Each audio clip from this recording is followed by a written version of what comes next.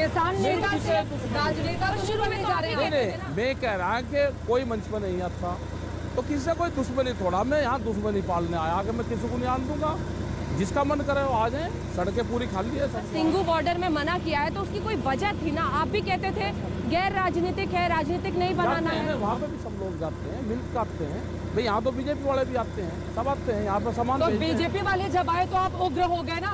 एक विधायक आए थे उसके बाद फिर आपने आरोप लगा दिया उनके ऊपर।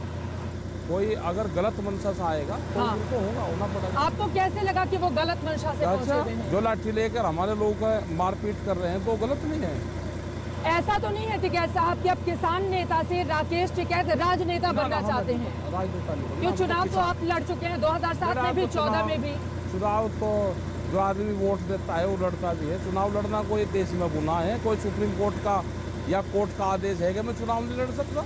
लेकिन मेरे पास ऑर्डर ऑर्डर दिखाओ कहाँ है? नहीं नहीं कॉपी दिखाओ। लेकिन आपने तो पूरा माहौल बदल दिया ना आपके माहौल बदल दिया। उसके बाद अब टिकैत साहब की पूछ इतनी ज़्यादा हो गई है कि सिर्फ़ पश्चिमी यूपी नहीं अब अब तो हरियाणा तो पंजाब हर जगह। मेरे पे कोई बैन थोड़ा है हाँ। कि मैं पूरे देश बन जाता हूँ जहाँ खेती होगी। विपक्ष का चेहरा तो नहीं बनने जा रहे हैं ना ना हमें किसान आंदोलन के ज़रिए कोई विपक्ष की राजनीति आगे ना हमें कोई चेहरा नहीं बनना। हाँ। ना हमें कोई विपक्ष की भूमिका निभानी लेकिन विपक्षी राजनेताओं से अगर आप इस तरह से मुलाकात करेंगे जहाँ आंदोलन होगा तो ऐसा ही लगेगा ना कि किसान आंदोलन का राजनीतिकरण हो गया है। कोई नहीं राजनीतिकरण हो गया ना हमको चेहरा बनना है। हमें तो जो